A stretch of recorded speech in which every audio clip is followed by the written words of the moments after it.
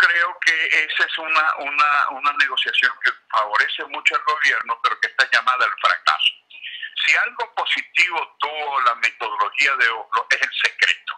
Eh, yo era embajador en Israel cuando hubo la metodología de Noruega, de Oslo, para los inicios de, la, firma de los acuerdos de paz en Camp David, pero nadie se enteró hasta que llegaron a la conclusión, después de mucho tiempo, este, en la que elaboraron las posiciones eh, sobre esa situación. En el caso de, de Colombia, independientemente de los resultados finales, también se inició con un proceso este, secreto. El caso de Obama y Cuba se inicia una metodología similar, no fue la de Noruega, pero una metodología similar en la que nadie se enteró las conversaciones entre Fidel Castro y Obama, salvo el Vaticano. En el caso nuestro, antes de reunirse, ya todo el mundo este, perifoneaba las reuniones, de manera que la primera de las condiciones de esa metodología ya está fracasada. En segundo lugar, es una metodología que lleva mucho tiempo.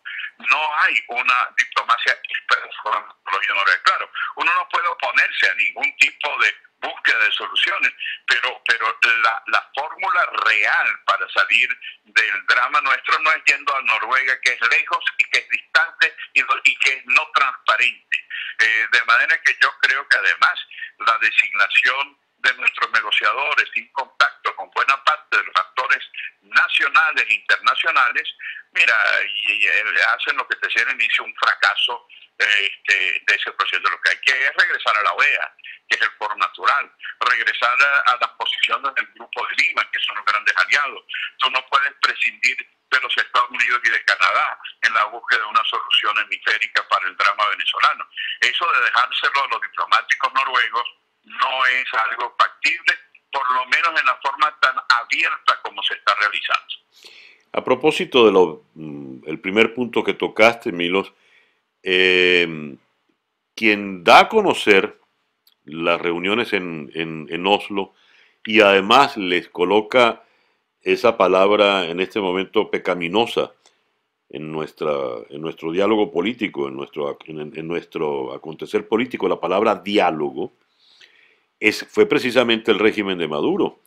¿Qué intención habría entonces? Mira, no aprendemos. Yo creo que ya se ha aprendido que no es posible negociar en secreto con el régimen. Eh, eso se vio tanto en la convocatoria que hizo de alcaldes eh, eh, Chávez en su momento, que lo transmitió en, vivo y llamó a todos los alcaldes a intervenir.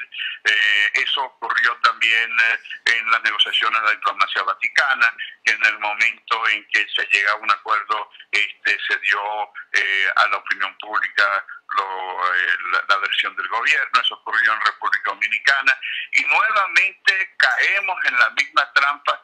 Si te quiere buscar una negociación, eh, yo no lo veo como diplomático imposible y factible, tenemos que actuar con transparencia. Tiene que ir a Noruega, tendría, por ejemplo, la, la, la oposición, tendríamos que decir, vamos a Noruega, eh, anunciamos que vamos a reunirnos, pero vamos a plantear esto y este, no hacerlo después de que el gobierno haya hecho la, la información de lo que estaba sucediendo. No aprendemos y entonces caemos de nuevo y cuando el gobierno se siente acorralado con las exigencias, él da la información.